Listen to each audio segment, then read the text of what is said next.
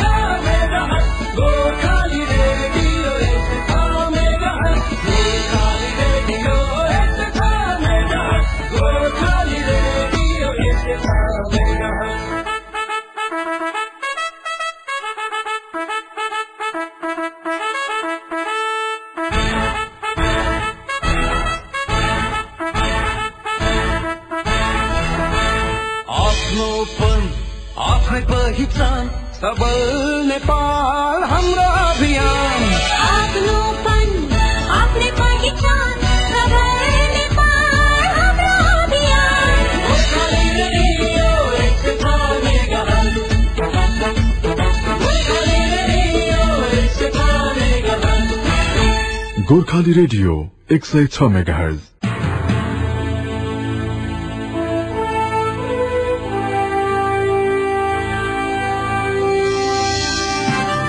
म उत्तर खोजिरहन्छु।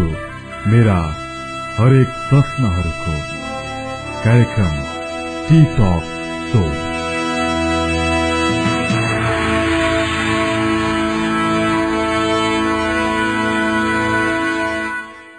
नमस्कार गोर्खाली रेडियो एक सय छ मेगा सुनेर बस्नुभएका सम्पूर्ण आदरणीय श्रोताहरूमा कार्यक्रम टी टक शोको यो नयाँ श्रृंखलाको तर्फबाट प्राविधिक साथी ओमजी मगरको साथमा सञ्जयको स्वागत छ। तपाईँको रेडियो सेटको एक सय छ मेगाहजमा आज पनि हामी यो बिहानीको समयमा कार्यक्रम टी टक शो लिएर उपस्थित भइसकेका छौं। टी टक शोमा आज हामी अलिकति भिन्न विषयवस्तुमा कुराकानी गर्नेछौ। यति बेला एउटा सामाजिक सञ्जाल सोसियल नेटवर्किङ साइट फेसबुक प्रयोगकर्ता सरिता गुरूङ चर्चामा हुनुहुन्छ। उहाँको चर्चा फेसबुक चलाएर होइन कि फेसबुकबाट आर्थिक सहयोग संकलन गरेर सामाजिक कार्यमा त्यो कार्य त्यो अर्थलाई प्रयोग गरेर उहाँको चर्चा अहिले निकै चलेको छ। बुद्धिमाया गुरूङ जो मृगौला पीड़ित हुनुहुन्छ आर्थिक विपन्नताका कारणले गर्दाखेरि उहाँले त्यो मृगौला वा भनौँ प्रत्यारोपण वा डालोसिस गर्नको लागि समस्या भइसकेपछि सरिता गुरूङ त्यो कार्यमा लागिरहनु भएको छ। उहाँलाई आर्थिक सहयोग गर्नको लागि अहिलेसम्म दुई चरणमा उहाँले आर्थिक सहयोग गरिराख्नु भएको छ। एघार महिनाकी छोरी अनुजा गुरूङको आमा बुद्धिमाया गुरूङ जो मिया पाटनमा अहिले बसोबास गर्दै आउनु भएको छ उहाँको सहयोगको लागि दिलो च्यान लगाएर अहिले सरिता गुरूङ लागिराख्नु भएको छ। दिकुर पोखरी गाविस वडा नम्बर छ पाउदुरकोट घर भई हाल काठमाडौँ नैकाब बस्ने सरिता गुरूङ पद्मकन्या कलेज काठमाडौँमै बीए थर्ड इयरमा अध्ययनरत हुनुहुन्छ। यो सामाजिक भावना र फेसबुकबाटै यो कार्य गर्ने प्रेरणा कसरी मिल्यो? आज हामी यो कुराकानीलाई जोड्नेछौ सरिता गुरूङसँग यहाँलाई स्वागत छ सरिताजी। धन्यवाद। गोर्खाली रेडियो एक सय छ मेगा सुनेर बसिरहनुभएका सम्पूर्ण श्रोता वृन्दलाई म सरिता गुरुङको नमस्कार। यो जसरी बुद्धिमाया गुरूङसँगको यहाँको परिचय योभन्दा पहिले थियो कि थिएन? अह थिएन। कसरी चाहिँ थाहा पाउनुभयो? उहाँ मृगोला पीड़ित हुनुहुन्छ आर्थिक उहाँ समस्यामा हुनुहुन्छ भनेर चाहिँ कसरी थाहा पाउनुभयो? फेसबुक एउटा सामाजिक सञ्जाल हो। यसमा विभिन्न देशबाट साथीहरू नेटवर्किङ भइरहेको हुन्छ। यसै क्रममा उहाँको जेठाजु ओम प्रसाद गुरुङ कतारमा हुनु कार्यरत हुनुहुन्छ।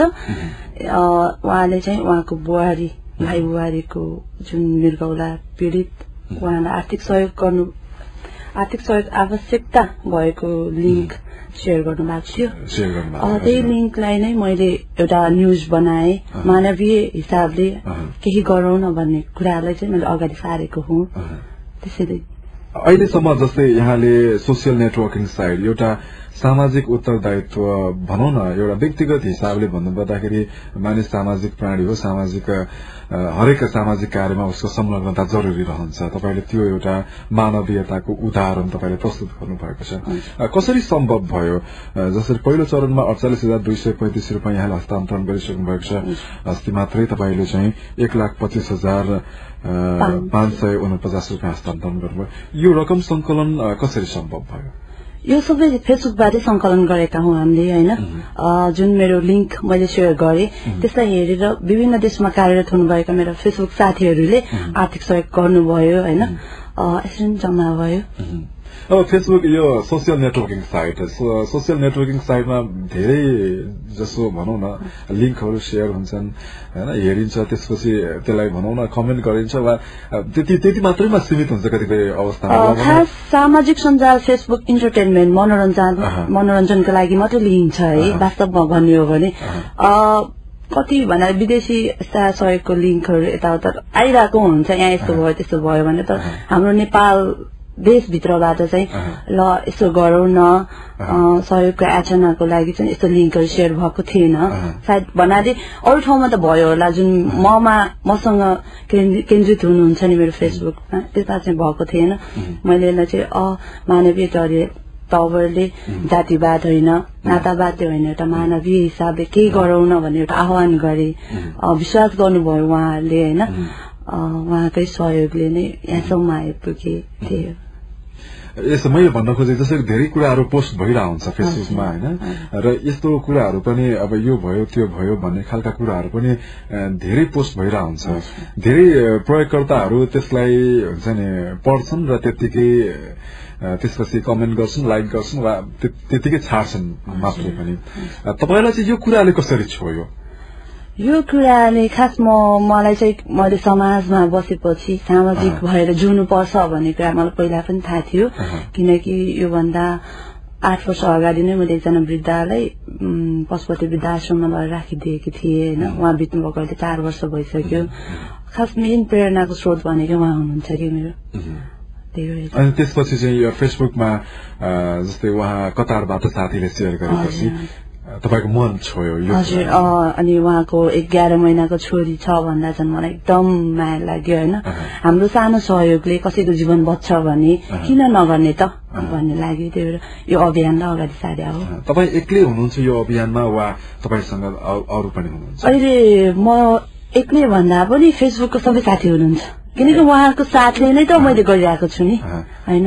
अब पत्रकार साथ दाजुहरू हुनुहुन्छ उहाँले मलाई अगाडि ल्याइदिनु भयो यता फेसबुकको साथीहरूले आर्थिक सहयोग गर्नुभयो ल है गर्नुपर्छ केही गर्नुपर्छ भन्ने दिनुभयो। एकदम हौसला बढ्यो नि। कहाँ कहाँका साथीहरूले चाहिँ विशेष गरेर थाहा पाइए अनुसार विदेशमा रहनुभएका दाजुभाइहरूले आर्थिक सहयोगमा बढी जोड गर्नुभएको छ। बढी जोड दिनु भएको चाहिँ बेल्जियमबाट सुभाष गुरुङ दाईले गर्नुभयो अनि युएसबाट प्रेम गुरुङ र सूर्य गुरुङले गर्नुभयो। होइन यता कतारमा चिपन तापन डट कम भन्ने हाम्रो एउटा साइट रहेछ होइन। त्यहाँका ओनर विजय तामाङ विजय लामाजीले पनि गर्नुभएको छ। दुबईबाट तुलाराम दाहालजीले गर्नुभएको छ। त्यही हो व्यक्तिगत हिसाबले पनि उहाँले आफ्नै पहलमा आफ- भन्नाले आफ्नै पैसाहरू पठाइराख्नु भएको छ कि। कसरी आह्वान गर्नु भएको छ? उहाँहरूलाई चाहिँ होइन तपाईँले पनि लिङ्क सेयर गरेर आह्वान गर्नु भएको छ वा उहाँहरूसँग व्यक्तिगत व्यक्तिगत उहाँहरूको मेरो जुन लिङ्क हेर्नुभयो त्यसपछि उहाँले व्यक्तिगत रूपमा नै कन्ट्याक्ट गर्न खोज्नुभयो होइन। मैले मेरो मैले जति सक्छु नि मैले उहाँहरूलाई मसँग कन्ट्याक्ट हुने फोन नम्बरहरू यताउता प्रदान गरिरहेकी छु होइन। फोनमा नि कुरा भयो। मेलदेखि मेलबाट पनि आदान प्रदान कुराहरू यस्तो हो। अब उहाँको आर्थिक स्थिति कस्तो छ फ्यामिली ब्याकग्राउन्ड कस्तो छ भन्ने कुरा मैले राम्रोसँग बुझेँ होइन। त्यो भएकोले उहाँले यथार्थ रूपमा बुझाउन बुझाएँ। अनि यसरी नै सङ्कलन भएको छ। अहिले यो रकम चाहिँ तपाईँले दुई चरणमा हस्तान्तरण गरिसक्नु भएको छ होइन? अब कसरी बुझ्नु भएको छ? उहाँको उपचार खर्च कति लाग्ने र कति आवश्यक रहेको छ? र अझै कति अपुग रहेको छ? खास त हामीले बुझेको चाहिँ उहाँको किडनी फेर्नै पर्ने भएको छ अरे होइन? अहिलेसम्म हामीले चाहिँ डायनोसिस गराउने आर्थिक जुटाइरहेका छौँ। डायनोसर्सको लागि खास त सकि हामीले चाहिँ जीवन लाइफ नै दिउँ न नयाँ जीवन नै दिउँ न भनेर यो अभियान साधेका हौँ कि अगाडि। खै के भने उहाँको फ्यामिलीबाट अनि त्यति सोचे जस्तो साथहरू पाइरहेको छैन होइन?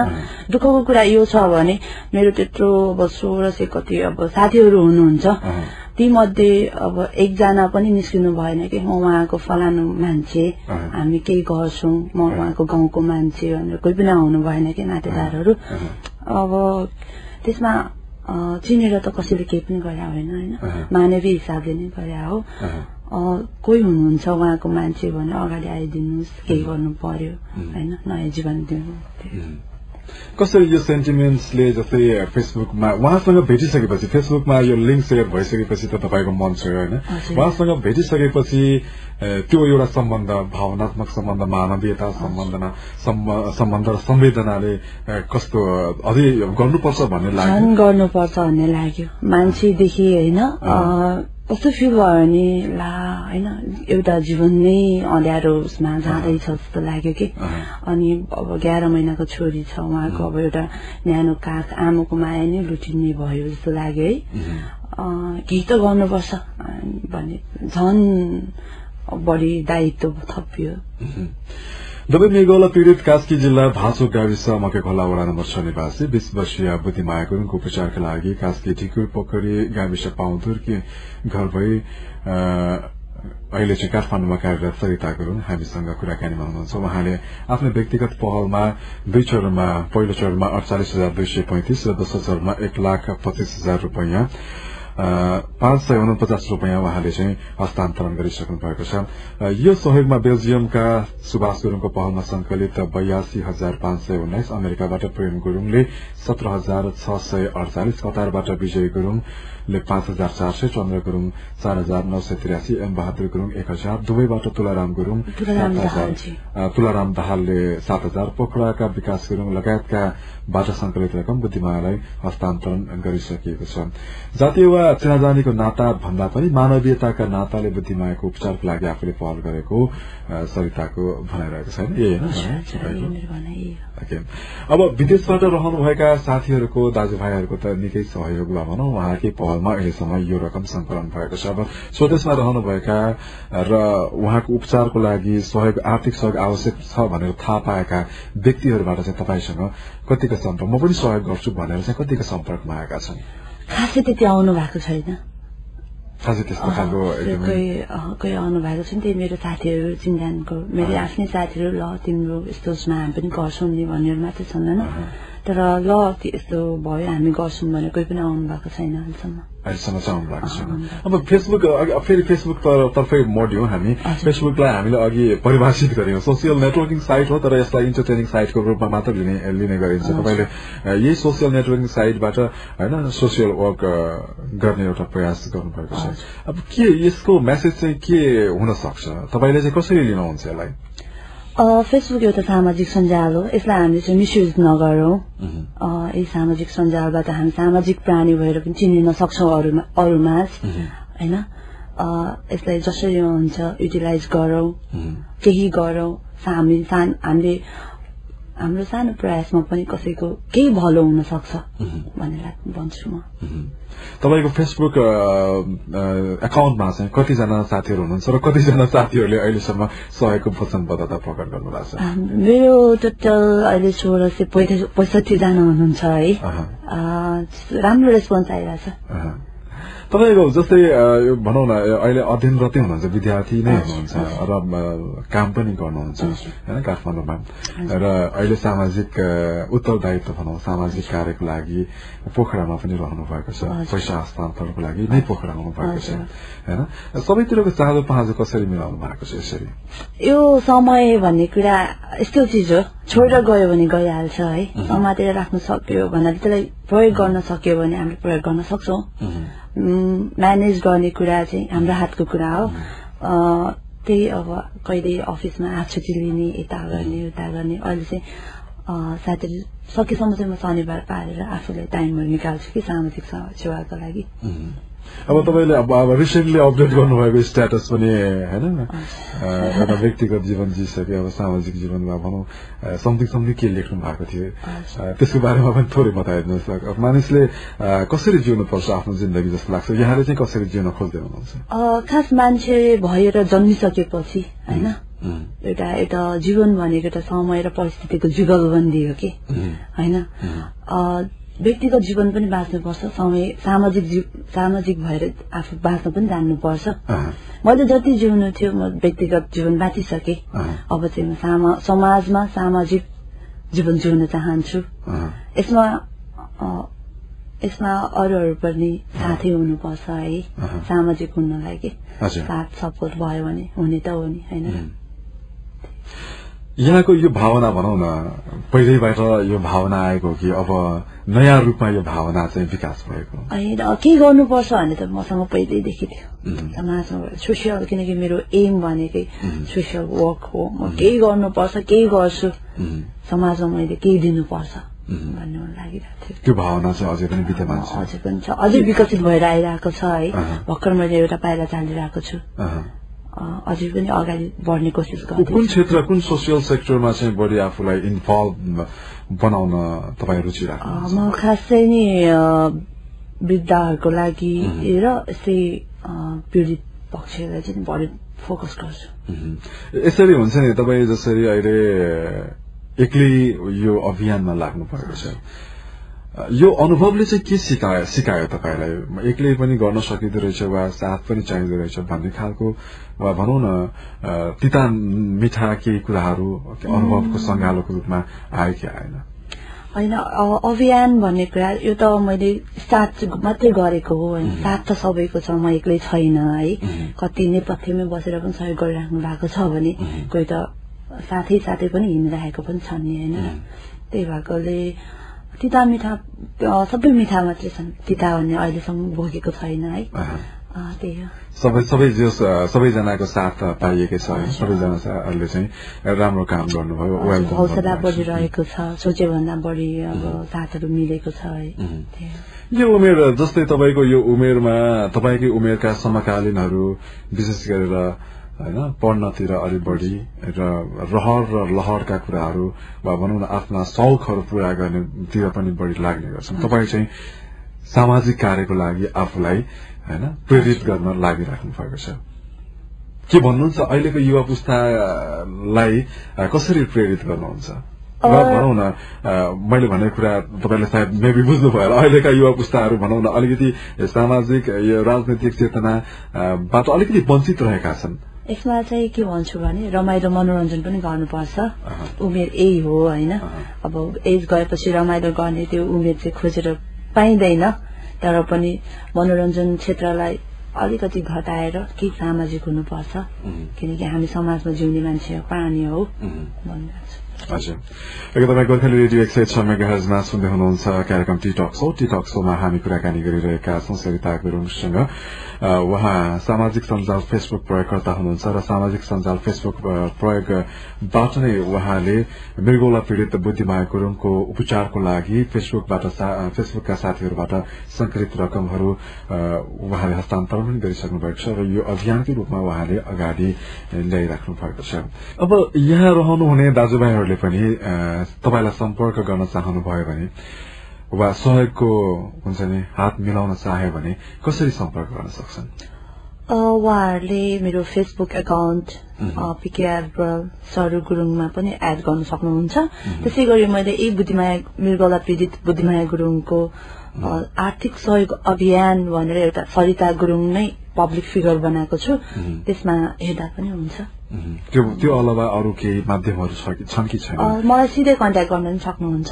सिधै कन्ट्याक्ट गर्न पनि सक्नुहुन्छ है? ओके अहिले रेडियो सुन्दै हुनुहुन्छ भने अहिले एफएममा फोन गरेर पनि नम्बर दिन सक्नुहुन्छ। र सिधै सम्पर्क पनि गर्न सक्नुहुन्छ। कहिलेसम्म रहन्छ यो अभियान चाहिँ? हाम्रो यो अभियान अभियान त जारी नै हुन्छ है। हामीले चाहिँ नि जीवन नयाँ जीवन नै दिने हाम्रो लक्ष्य छ। हेरौँ कतिसम्म सफल हुन्छु है। लक्ष्य चाहिँ के हो यहाँको? यो व्यक्तिगत लक्ष्य वा भनौँ जीवनको लक्ष्य चाहिँ के हो? जीवनको लक्ष्य सामाजिक जीवन जिउने। समाज सेवा गर्ने। त्यो। व्यक्तिगत जीवन चाहिँ जिसक्नुभयो जिसक्यो कसरी जिउनुभयो? व्यक्तिगत जीवन? व्यक्तिगत जीवन कहिले यता कहिले उता होइन? त्यसैमा बित्यो। अब अब चाहिँ सामाजिक रूपमा बिताउन। जीवन। तपाईँको सानो बाल्य अवस्थामा के थियो? तपाईँको हुन्छ नि चाहनाहरू रुचिहरू केमा आउँथ्यो? रुचि त्यही म पछि गएर यस्तो समाज सेवा गर्नुपर्छ। म चाहिँ मदर टेरेसाको फ्यान हुनुहुन्थ्यो एकदम। म भविष्यमा गएर म उहाँको। फलोअप गर्न चाहन्छु। अनि त्यस्तो लाग्थ्यो कि। के कुराले बढी मन छुन्थ्यो। बाल्य अवस्थामा रहँदा पनि हुन्छ नि। त्यति बेला अब इनोसेन्ट हुन्थ्यो हार्ट पनि वा मन पनि त्यो इनोसेन्ट खालको हुन्थ्यो। त्यति बेला चाहिँ के कुराले बढी मन छुन्थ्यो यहाँको? कोही मान्छे मर्दा हुन्छ नि अब हाम्रो गुरुङहरूको सोसा- सोसाइटीमा त अर्को गर्ने यताउता हुन्थ्यो होइन। मान्छे दिदीएर रोएको देख्यो भने चाहिँ कस्तो रुन मन लाग्ने कि? एकदम काइन्ड हार्टेड त्यस्तो हुन्थ्यो। अब युवा पुस्तामा भनौँ न अब मैले अगाडि पनि भनिसकेँ एउटा उदाहरण हो? सरिता गुरुङ एउटा उदाहरण हुन सक्छ। र यही पथमा यही मार्गमा जोडाउनको लागि। वा भनौँ न सो- थोरै सोसियल वर्क गराउनको लागि युवा पुस्तालाई कसरी मोबिलाइज गर्न सकिन्छ जस्तो लाग्छ? यो त कर काप्ले हुने कुरा होइन है। इच्छा हुनु पर्यो। जहाँ इच्छा त्यहाँ उपाय भन्ने मान्छेको एउटा कथनै छ नि। त्यही भएकोले यदि अ मैले केही गर्छु केही गर्नु पर्यो अनि उसले पनि समाजमा भन्न सक्नु पर्यो। सहयोगको हातहरू फैलाउन सक्नु पर्यो हामी पनि एउटा साम- सामाजिक प्राणी हौ समा- सामाजिक भएर जिउन सक्छौँ। सोसियल नेटवर्किङ साइटबाटै यो सबै अर्थ संकलन भएको छ। मैले अगाडि पनि जोडेँ सोसियल नेटवर्किङ साइट जस्तो इन्टरटेनिङ साइटको रूपमा नयाँ फ्रेन्ड बनाउने र अझै यसमा भनौँ न यसको राम्रो पक्ष हुँदाहुँदै सकारात्मक पक्ष हुँदाहुँदै नकारात्मक पक्ष वा भनौँ न विकृतिको रूपमा पनि जोडिन आइरहेको छ। सोसियल नेटवर्किङ साइटले धेरै कुराहरू विकृतिको रूपमा पनि भित्राइरहेको छ होइन? कतिपयले आफ्नो एकाउन्टै डिसएक्टिभेट पनि गरिरहेका छन्। यसरी यो भनौँ न यो सोसियल नेटवर्किङ साइटबाट यस्तो खालको कार्य पनि गर्न सकिँदो रहेछ भनेर तपाईँले उदाहरण त प्रस्तुत गर्नुभयो। तर यहाँ रहेका विकृतिलाई चाहिँ कसरी हेर्नुहुन्छ? यहाँ रहेका विकृति त उहाँहरूको उसमा सोचाइमा भर पर्छ है किनकि उहाँले मिसयुज गरिराख्नु भएको छ। होइन? सामाजिक सञ्जाल खास उनीहरूको साइकोलोजी के छ? त्यो बुझ्नु पर्यो नि। किन तिनीहरूले यस्तो गरिरहेछन्? मान्छेले फ्रड गरिरहेछन् कि? एउटा व्यक्तिगत रिसिभी पनि हुन्छ। तर म एकदम विश्वस्त छु म एकदम खुसी छु मेरो फेसबुक साथीहरूप्रति कि आजसम्म उहाँहरूले म मेरो जुन स्टाटसहरू अपडेट हुन्छ त्यसमा नराम्रो त्यस्तो नकारात्मक सोचाइ भएको नराम्रो कुरा लिङ्कहरू केही सेयर गरिदिनु भएको छैन कि। सोह्र सय कति हुनुहुन्छ किनकि म गर्व गर्छु। होइन कोही मान्छे कस्तो निस्किनु तर त्यस्तो सेन्स किन भन्नाले त्यस्तो सेन्सले ममा आउनु भएको छैन। त्यही हो। ओके। अब त्यस्ता खालका हुन्छ नि जस्तै सोसियल नेटवर्किङ साइटमा विकृतिकै कुरा गर्ने हो भने धेरै जसो होइन फिमेल साथीहरू नै त्यसबाट पीड़ित हुने गरेका छन् आउने गरेका छन्। कसरी सतर्कता अप्नाउन सकिन्छ जस्तो लाग्छ यहाँलाई? यहाँ पनि होइन फेसबुक प्रयोगकर्ता हुनुहुन्छ। मेन त आफूमा भर पर्छ यो कुरा चाहिँ। इफ आफ्नो बिहेभ किनकि मान्छेको profile creating style status updating style photo सुटहरूको style होइन? योदेखि लिएर सबैमा आफूमा भर पर्ने कुरा हो कि? यदि गर्थे त ममा पनि गर्थे होला नि त होइन? त्यस्तो लाग्छ। त्यस्तो लाग्छ। जस जसरी प्रयोग गर्नु भएको छ राम्रोसँग सकारात्मक तरिकाले सकारात्मक रूपले आफू अगाडि बढ्यो भने त्यस्तै नकारात्मक सोच लिने मान्छे पनि सकारात्मक सोचमा आइपुग्छ। किनकि मान्छेको ह्याबिट कस्तो हुन्छ भने पहिला माइनसमा कुद्ने अनि पहिला प्लसमा आउने हुन्छ क्या होइन? जुन जुकै कुरामा पनि प्लस प्लस एन्ड माइनस भनेर पोजिटिभ र नेगेटिभ हुन्छ नि त। हामी नेपाली सोचाइ भनेको पहिला नेगेटिभ भएर पछि पोजिटिभमा आउने। पोजिटिभमा आइपुग्दा हामी सब धेरै ढिला भइसकेका हुन्छौँ कि? त्यसलाई त्यही भएर केही कुरा पहिला सकारात्मक सोचौँ। माइनस भन्ने कुरा त नकारात्मक भनेर त्यसको नतिजा हो। होइन? हामीले भोग्नु पर्छ यदि हो भने हजुर। जस सामाजिक नेटवर्किङ साइटलाई इन्टरटेनिङको माध्यमको रूपमा मात्र नहेरिकन जस्ट सृजनात्मक तरिकाले पनि हेर्न अँ, सृजनात्मक तरिकाले सामाजिक तरिकाले हेर्न सक्नु पर्यो ओके। हामी कार्यक्रमको लगभग अन्त्यतिर पनि आइसकेका छौँ। के आग्रह गर्नुहुन्छ त? अब बुद्धिमाया गुरुङको लागि गोर्खाली रेडियो शिक्षा मेगा सुनेर बस्नुभएका सम्पूर्ण श्रोताहरूलाई कसरी आग्रह गर्नुहुन्छ? हाम्रो सानो सहयोगमा एउटा सिङ्गो जीवन नयाँ जीवन अल्झिएको छ। होइन? म एक्लैको मात्रै आवाज होइन यो। होइन बुद्धिमाया गुरुङकै आवाज सम्झिदिनुहोस् उहाँको एघार महिनाको छोरी छ अनुजा गुरुङ। उहाँको न्यानो काग आमाको माया खुसिनुबाट हामीले जोगाउँ। कसै मृत्युको ढोकामा ढोका ढकढकाइरहेछ भने हामीले उसलाई तानेर नयाँ जीवन दिनुपर्छ। आफूले सकेको होइन? जे जति सक्नुहुन्छ आफ्नो क्षेत्रबाट सहयोग गरिदिनु हुन म सम्पूर्ण एक सय छ मेगा सुनेर बसिरहनुभएका श्रोताबिन्द म अनुरोध गर्दछु। म पनि हुन त हिजो तपाईँहरू जस्तै श्रोता हुँ होइन? आज तपाईँहरूमा आज म गुन्जिँदैछु। यहाँसम्म हजुरहरूमा आवाज पुर्याइदिन सहयोग गर्नुभएकोमा हाम्रो आरजे दाई सञ्जु मल्लजीलाई पनि म धेरै धेरै धन्यवाद दिन चाहन्छु। टेक्निसियन दाईलाई पनि धेरै धेरै धन्यवाद। र मलाई यहाँसम्म ल्याउनु भयो यो एउटा अवसर दिनुभयो होइन? साथ दिनुहुने सुदर्शन रञ्जित दाईलाई पनि धेरै धेरै धन्यवाद दिन चाहन्छु र म खास विशेष गरी चाहिँ मेरो सम्पूर्ण फेसबुक मित्रहरू जुन आर्थिक सहयोग गरिदिनु भयो जस्तै मलाई हौसला दिनुभयो र पत्रकार दाजुहरू हुनुहुन्छ जसले मलाई मिडिया मिडियामा सबैको समाचारको एउटा पात्र बनाइदिनु भयो उहाँलाई पनि म धेरै धेरै धन्यवाद र आभार प्रकट गर्न चाहन्छु।